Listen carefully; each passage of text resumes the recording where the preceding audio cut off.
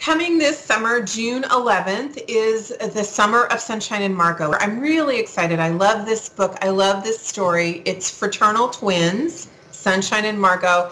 And one of the things I really like best about them is on the surface, they're like so amazingly perfect. But right under that, they are incredibly messy people.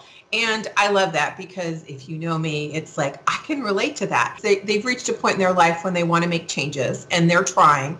And because of how they were raised and who they are, that's a little bit difficult for them. So, you know, I love to do that. I love to mess with my characters. And this book takes place in Pasadena, California. One of the things I love about Pasadena is its history. If you grew up in that part of the country, you know all about Junipero Serra and Father Serra and all the stuff he did. And you could walk from monastery to monastery in a day. So I created this fabulous monastery and turned it into uh, the hero's home and did a lot of research and I love it. There's an ant farm I have learned all about. Did you know the people who sell them refer to them as animals and they are ranchers? So are there little tiny hats or reins? Anyway, so um, it's just, it's a really fun book. Margarita's Sisters Love. It really has everything. I loved writing it. I hope you love reading it.